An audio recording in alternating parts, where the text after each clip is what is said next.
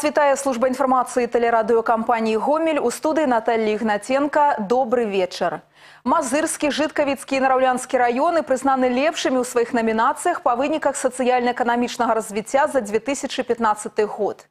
Акрамя гэтага дыплома пераможцаў з занясеннем на абноўленую дошку гонару в обласці атрымалі 45 суб'ектаў гаспадарання. Сёння ў Гомелі адбыўся ўрачысты сход, прысвечаны дню працы. Якімі дасягненнямі ганарацца ў рэгіёне даведаліся нашы карэспандэнты.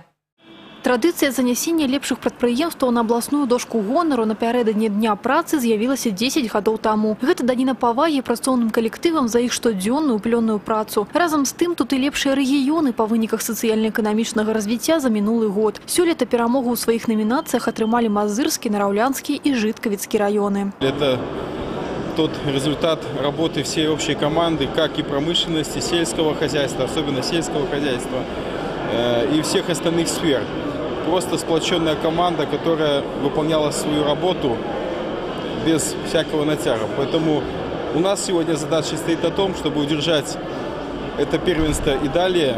Мы над этим работаем. Я думаю, что результат должен быть Перад пачаткам урачыстага сходу гасцям дэманструецца выстава, на якой прадстаўлены дасягненні прадпрыемстваў за апошнія гады. Перамогі на шматлікіх прэстыжных міжнародных конкурсах сведчаць, што нам сапраўды ёсць чым ганарыцца. Далей дзеянні пераходзяць у актавую залу абласнога культурнага цэнтра. Сярод прысутных прадстаўнікі розных галін народнай гаспадаркі. Дыпломы і пасведчання аб занясенні на дошку гонару атрымліваюць 45 суб'ектаў гаспадарання. У прыватнасці сярод прамысловых прадпрыемстваў гомельскі радыёзавод, хімічны завод і мазыр-соль. Лепшыя сельгаспрадпрыемства адкрытае акцыянернае таварыства сцяг радзімы і тураўшчына ксуб саўгазкамбінат зара. Дарэчы, апошні ў спісе пераможцаў знаходзіцца не ўпершыню, як адзначае кіраўніцтва. Перш за ўсё добрыя вынікі дасягаюцца дзякуючы згуртаванасці калектыву і зладжанай працы. Да таго ж неабходна не стаяць на месца, пастаянна шукаць рэзервы для новых дасягненняў. Тогда общий уровень ведения хозяйствования именно на селе,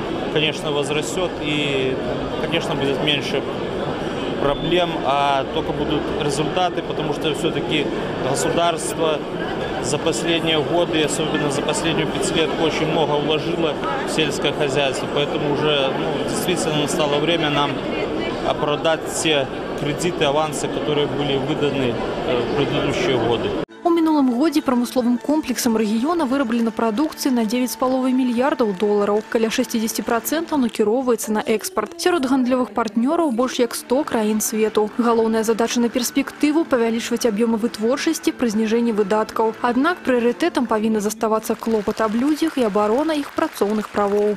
Права трудящихся всегда защищались и защищаются в нашем государстве. Право на труд имеет каждый гражданин, в том числе и в Гомельской области.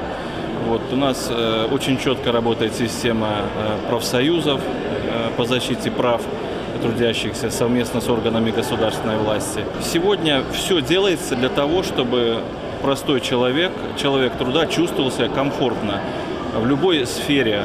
Дмитрий Котов, Ворошилина, Игорь Марышченко, телерадиокомпания «Гомель». Падарункам да дня працы гамельчанам стала адкрыццё гарадскіх фантанаў. Сёння ля кожнага фантана разгарнуліся канцэртныя і выставачныя пляцоўкі. Сведкай адкрыцця сезону ў раёнах горада стала Ганна Кавалёва. Сезон фонтанаў у Гомелі адкрыў адзін з самых маладых, размешчаны паблізу кінатэатра міру ў Новабелецкім раёне. Менавіта тут раней за іншых сустрэла гараджан пляцоўка масавага адпачынку і ўзняліся ўвысь бруі вады. Побач з фонтанам размясцілі цэлую выставачную алею дэкаратыўна-прыкладной творчасці. Один наш фонтан находится в зоне отдыха пруды. Это фонтан с подсветкой, звукомузыкальный.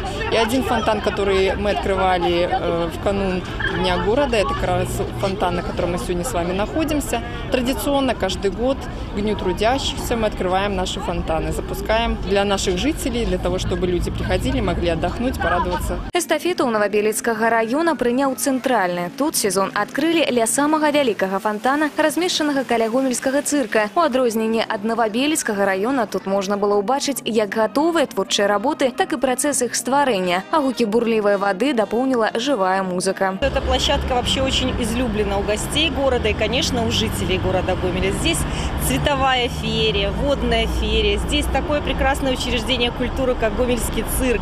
Здесь очень много молодежи, много мам с детьми. И, конечно, мы пришли сюда на самую главную площадку. Ва унісон з цэнтральным раёнам запусцілі фонтаны ў савецкім і чыгуначным. У кожным з іх прайшлі канцэртныя праграмы, дзе выступілі лепшыя творчыя калектывы раёнаў. Ні адзін з фонтанаў горада не быў запушчаны са збоямі. Наогул задоўга да адкрыцця сезону прайшла іх комплексная праверка і ачыстка, а затым адбылося некалькі пробных запускаў. Усяго ў абласным цэнтры запусцілі 9 фонтанаў. Радаваць гараджан і гасцей гомелі яны будуць да кастрычніка.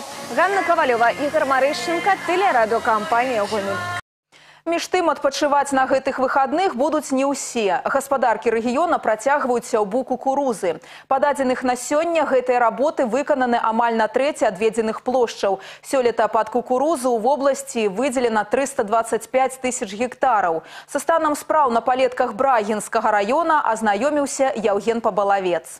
На полях Брахінскага района тэхніка працуе ўвесь светлавы дзень. У сціснуты час трэба пасеяць кукурузу і прадугледзець паўтарагадовы запас кармавой базы. Як сцвярджаюць спецыялісты, сур'ёзных перашкод гэтаму няма. Сегодня созданы все условия. Топливом хозяйство обеспечено, м, запасными запчастями. Также э, хозяйство насчитывает 6 энергонасыщенных тракторов на сегодняшний день. Они все в работе. Э, Работаем без выходных, так как сегодня э, сроки посева кукурузы ограничены. Для гэтага ствараюцца ўсе ўмовы. Заработная плата налічваецца па павышанай стаўцы. Тэхніка працуе амаль без перапынку. Спрыяе і надвор'е. Гэта дае надзею на нядрэнны ураджай кукурузы, азімых і яравых культур. Прошлый год он был э, своеобразный по погодным условиям. Была серьезная засуха, в том числе на территории Брагинского района и Гомельской области. А С учетом погодных условий весны этой, конечно, они отличаются от прошлого года, и надежда есть, конечно, что мы соберем не 70% от уровня прошлого года, а я думаю, выйдем на хороший показатель, на показатели 2014 года, а то и надеемся на выше.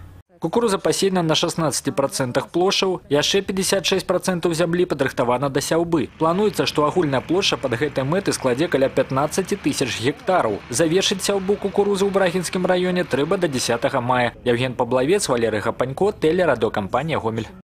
Дарэчы, надвор'е на выхадных парадуе жыхароў рэгіёна. Па прагнозе абласнога гідрамедцэнтра у бліжэйшыя суткі чакаецца пераменная воблачнасць без ападкаў. Тэмпература паветра складзе ад 1 до 5 цепла ўначы і ад 13 до 18 градусаў у дзённыя часы. У нядзелю 1 мая таксама будзе пераважна без ападкаў, але ў дзень месцамі магчымыя кароткачасовыя дажджы навальніцы. Чакаецца ўначы да 9, у дзень да 21 градуса цяпла. Падобны характар надвор'я захаваецца і ў панядзелак 2 мая. Да іншых тэм. Праблемныя пытанні жыхарам рэгіёна дапаможа вырашыць зварот на прамую лінію мясцовых органаў улады. Яны працягваюць сваю работу па суботах. Заўтра пытанні можна задаць намесніку старшыні аблвыканкама Уладзіміру Владзіміровичу Гарбачову. Прамая лінія будзе працаваць з 9 раніцы і да 12 гадзін. Нумар тэлефона ў Гомелі 75 12 37. У гэты ж час на пытанні гамельчан адкажа намеснік старшыні гарвыканкама Сергей Яўгенавіч Андрэяў. Нумар тэлефона прамой лініі 75 63 33. А вось удзельнікі інфармацыйна-прапагандысцкай акцыі Гомельшчына за здаровы лад жыцця ўжо атрымалі адказы спецыялістаў на свае пытанні. У завяршэнні акцыі ў гомельскім гарадскім цэнтры гігіены і эпідэміялогіі адбыўся круглы стол. Галоўнай тэмай для абмеркавання сталі наступствы чарнобыльскай катастрофы. Спецыялісты цэнтра расказалі, як ажыццяўляецца ў горадзе радыацыйна-гігіенічны кантроль. Дарэчы, ні адно з прадпрыемстваў Гомелі не выпускае харчовыя тавары з павышаным утрыманнем Радыонуклідаў. Парушэнні нарматываў сустракаюцца толькі ў прадукцыі падсобных гаспадарак грамадзян, а таксама ў дарах лесу. Медыкі больш гаварылі аб прафілактыцы захворванняў і здаровым ладзе жыцця. Што асабліва важна ў рэгіёнах, якія ў той ці іншай ступені пацярпелі ад наступстваў аварыі. Актуальнай застаецца праблема анкалогіі шчытападобнай залозы. У апошнія гады колькасць захварэлых трымаецца прыкладна на адным узроўні. Дзякуючы сучасным метадам дыягностыкі дапамогі і лячэння амаль 100% пацыентаў пазбаўляюцца гэтай хваробы. Адна са складаючых поспеху ў лячэнні своечасовае звяртанне да ўрача. А каб у гэтым не было неабходнасці, трэба займацца профілактыкай. Профилактика в нашей области самая простая, то есть зная причину, да, знаем профилактику. То есть морепродукты употреблять, продукты богатые йодом, да, то есть это самое основное. И регулярно, конечно, обследоваться, обращаться, то есть не запускать себя, следить за своим здоровьем.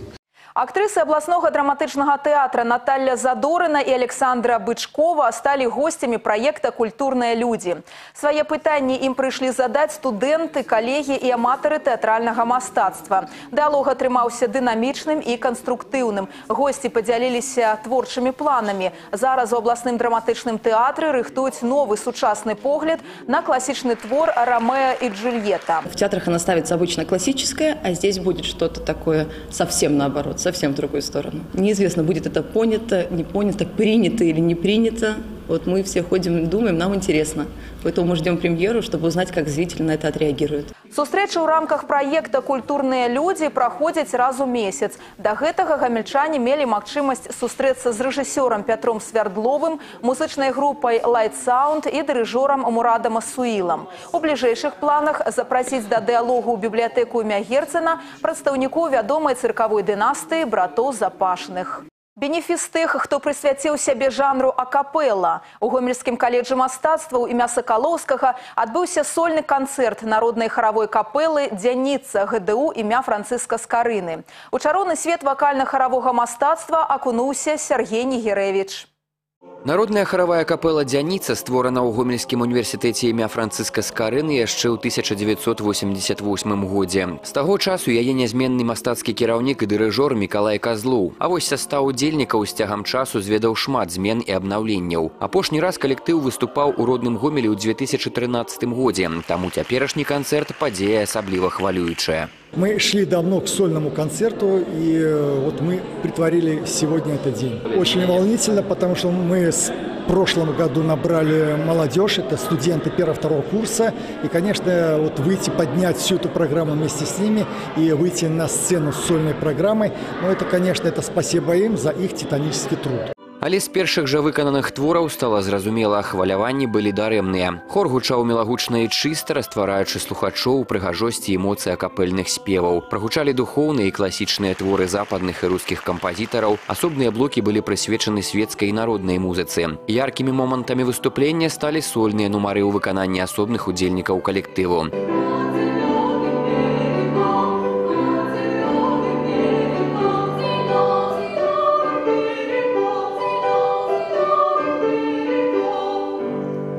Кветкі і шчодрыя апладысменты, лепшае прызнанне і падзяка ад слухачоў. Нам очень понравился концерт. Особенно звучание хорошее в зале.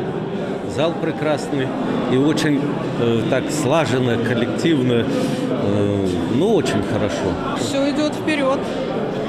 Все лучше и лучше. Прекрасный концерт, прекрасно поставлен репертуар. Очень приятно было видеть этот коллектив на сцене. Э, Я уже не первый раз присутствую на, это, на таких концертах. И хочу сказать, что э, с каждым годом они лучше и лучше. Репертуар совершенствуется. Ребята все молодцы, новый коллектив, вливаются новые люди.